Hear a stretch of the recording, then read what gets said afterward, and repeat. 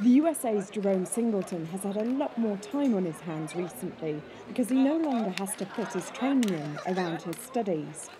Training's been going pretty well. I graduated this past December from Morehouse College in Applied Physics and Mathematics and the University of Michigan in Industrial Engineering. So training's been a lot better. I can sleep more and really prepare myself for London coming in to next year.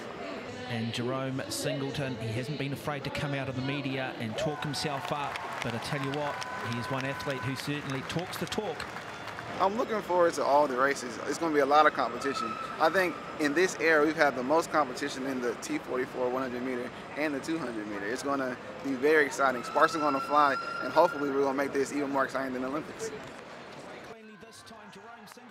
In the 100 metre at the 2011 World Championships in Christchurch, New Zealand, the top four runners ended in a photo finish.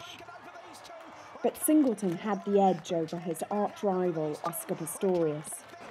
Oh, Oscar, he's a phenomenal athlete. It's a big rivalry. Muhammad Ali had Joe Frazier.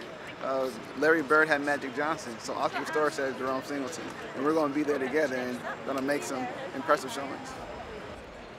The Paralympics is going to be a display of the human will and the gifts that God's given us. Everyone has challenges in their lives and they need to overcome them. And just by seeing different Paralympic athletes, hearing their stories, you're going to know what you can do and know that at this high caliber of sport, anything's possible.